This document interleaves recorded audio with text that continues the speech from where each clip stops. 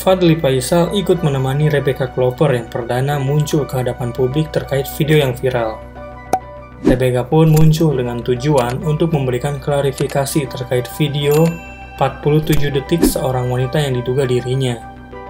Wanita kelahiran Malang ini terlihat tertunduk lesu saat berhadapan dengan awak media. Tak berlama-lama, Rebecca langsung menyampaikan permohonan maaf terkait video tersebut yang menyeret namanya tersebut. Saya Rebecca Clover memohon maaf yang sebesar-besarnya kepada masyarakat Indonesia atas kegaduhan tersebut. Dalam hal ini saya mohon maaf juga kepada keluarga saya, rekan kerja, dan klien-klien yang sudah dan mau bekerja sama dengan saya.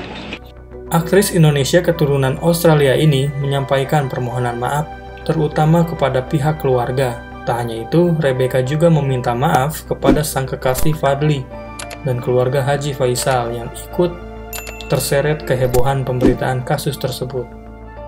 Artis yang memulai karir di dunia hiburan dengan membintangi sinetron bersama meraih mimpi pada tahun 2013 ini, lantas sudah melaporkan kasus tersebut ke polisi sejak 22 Mei.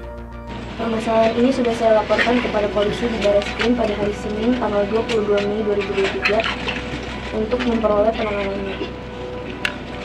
Untuk itu, saya menyerahkan segala sesuatu tentang masalah ini kepada polisi. Rebecca pun menyerahkan sepenuhnya penanganan kasus video ini ke kepolisian. Di lain hal, Rebecca juga mengungkapkan rasa terima kasih atas dukungan dari rekan, kerabat, hingga penggemar. Rebecca berharap dirinya bisa mendapatkan kekuatan untuk menghadapi masalah tersebut. Sementara itu, Fadli terlihat hanya terdiam dan berusaha menenangkan Rebecca pada kesempatan itu. Tak banyak bicara, Fadli enggan memberikan tanggapan mengenai kasus video tersebut yang menyeret nama sang kekasih.